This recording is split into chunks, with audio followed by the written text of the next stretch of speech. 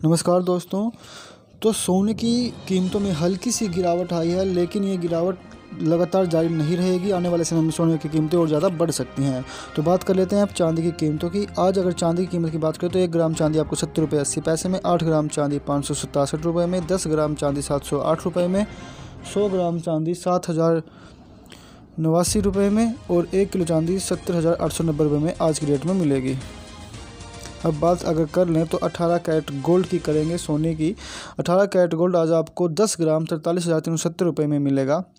22 carat gold की बात करने से पहले मैं आपको बता दूँ कि आने वाले समय में सोना और भी ज़्यादा महँगा हो सकता है। बाईस कैरेट गोल्ड आज की डेट में है एक ग्राम पाँच हज़ार दो सौ छब्बीस रुपये का, आठ ग्राम इकतालीस हज़ार आठ सौ आठ रुपये का, दस ग्राम बावन हज़ार दो सौ साठ रुपये का और सौ ग्राम पाँच लाख बाईस हज़ार छः सौ रुपये का। ये जो सोने की कीमतें हम आपको बताते हैं, ये बिना जीएसटी के होती हैं। यानी कि आपके अपने शहर में अगर आप सोने की कीमतें पता करेंगे और आभूषण बनवाना चाहेंगे तो वो उसमें जीएसटी तीन परसेंट लगाकर आपको बताएँगे, जिससे सोने की कीमतें एक हज़ार रुपये से आसपास बढ़ सकती हैं, पर दस ग्राम के।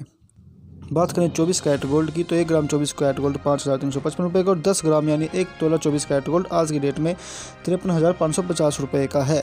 आने वाले समय में ये कीमतें और ज़्यादा बढ़ सकती है, लेकिन लंबे समय तक कीमतों का बढ़ा रहना मुश्किल है। जैसे ये युद्ध रुकता है, उसके बाद सोने की कीमतों में गिरावट देखी जा सकती है। अगर आपने अभी तक इस चैनल को सब्सक्राइब नहीं किया है तो प्लीज़ चैनल को सब्सक्राइब कर लें। हम इस चैनल पर इसी तरह की वीडियोज़ आपके लिए लेके आते रहते हैं, सोने की कीमतें बताते रहते हैं, साथ ही साथ बिज़नेस आइडियाज़ भी इस चैनल पर आते रहते हैं, जो आपको काफ़ी हेल्प कर सकते हैं आपके बिज़नेस सेटअप करने में। मिलते हैं नेक्स्ट वीडियो में।